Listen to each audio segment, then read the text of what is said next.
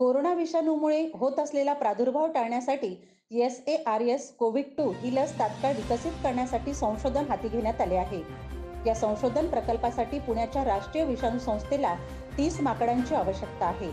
ही तीस माकडे राज्याच्या हद्दीतील देण्यात येणार असून कोरोना प्रतिबंधात्मक लसचा सर्वप्रथम प्रयोग या माकडांवर करण्यात येईल.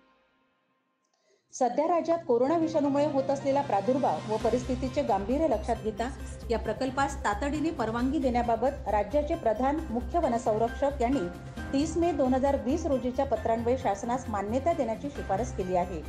त्यानुसार ही माकडे तात्काळ उपलब्ध करून देण्याचे निर्देश वनमंत्री संजय राठोड यांनी दिले आहे. या प्रकरणी अनुभवी मनुष्यबळामार्फत या माकडांना पकडणे त्यांना कुशलतेने हाताळणे त्यांना सुरक्षितपणे बाळगणे पकडलेल्या माकडांना तसेच परिसरातील इतर वन्य प्राण्यांना इजा तसेच त्यांचा दैनंदिन जीवनक्रम विस्कळीत होऊ न देणे. प्रकल्पाचा व्यापारी तत्वावर उपयोग न करणे आदी अटी शर्तींच्या अधीन राहून ही मान्यता देण्यात आलेली आहे.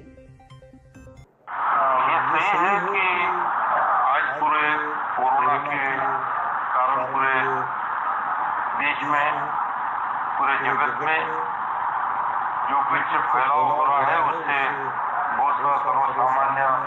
जनता पूरे देशवासी त्रस्त है और बहुत सारे देशों में इस कोरोना के उपाय के कारण लस का निर्माण करने का कार्य चल रहा है वैसा ही अपने देश में भारत देश में हिंदुस्तान में इस लस के बारे में प्रयोग चल रहा है और हमारी जो महाराष्ट्र में संस्था है राष्ट्रीय विषाणु संशोधन संस्था पुणे इस संस्था ने एक प्रस्ताव हमें भेजा है कि ये लस की निर्मित उन्होंने की है और उसके लस की ट्रायल के लिए उनको कुछ बंदर हमारे महाराष्ट्र के जंगल में से उनको होना है और उसके लिए उनका रिसर्च प्रस्ताव पास आया है और वो प्रस्ताव जो आया उसको हमने माननीय मुख्यमंत्री की अनुमति लेके हमने मंजूरी दी है अ, और